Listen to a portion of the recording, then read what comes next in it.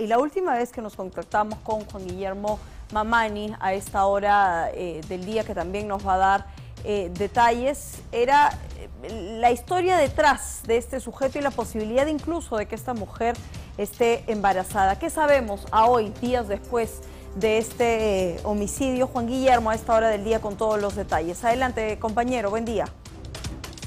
Buenos días, compañeras. sí, efectivamente, sigue dando más resultados la investigación con respecto a este macabro crimen donde una adolescente de 6 años terminó siendo asesinada y descuartizada.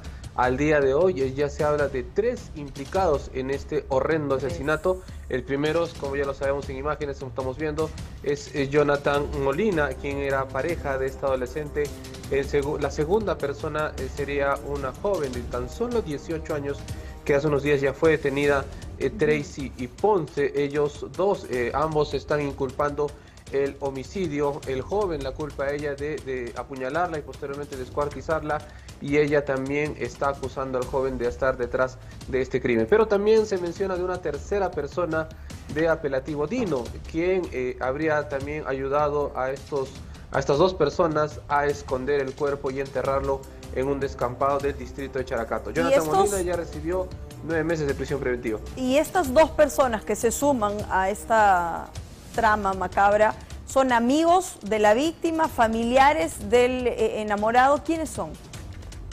Sí, efectivamente, eh, las investigaciones han determinado de que eh, por lo menos tanto Jonathan Molina como Tracy Ponce son amigos también de la víctima de Carolina, eran conocidos también y que todo esto ocurrió después de una fiesta en el distrito de Characato, era aniversario.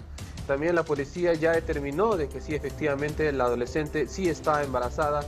Eh, no, se ha determinado aún si todavía, si es que eh, este eh, aborto que se haya practicado ella ha sido días antes de su homicidio, pero sí ya se determinó de que la adolescente sí estuvo embarazada antes de este asesinato.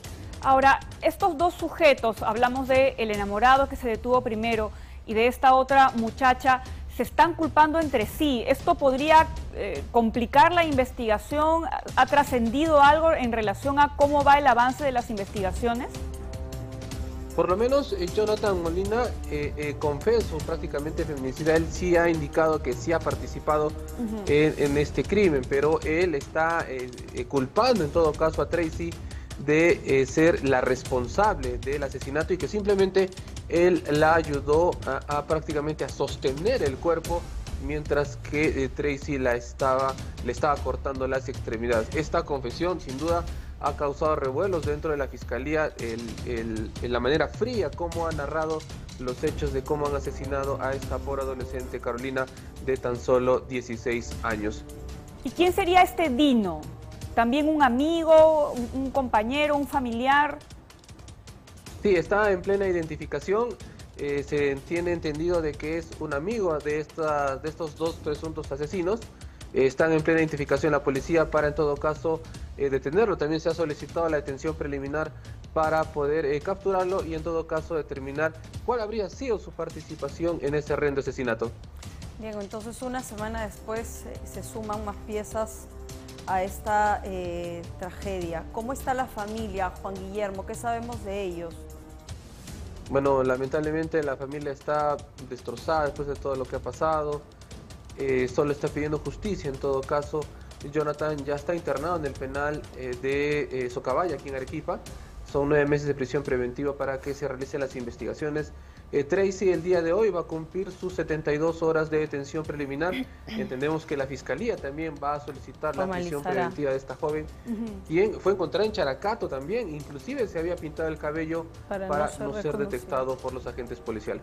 Bueno, no se va a escapar de la justicia, vamos a estar muy atentos eh, eh, siguiendo este caso, tenemos mayor información seguramente en los próximos días. Juan Guillermo, un abrazo para ti, gracias por la información, pero hay más, ¿verdad? Así es.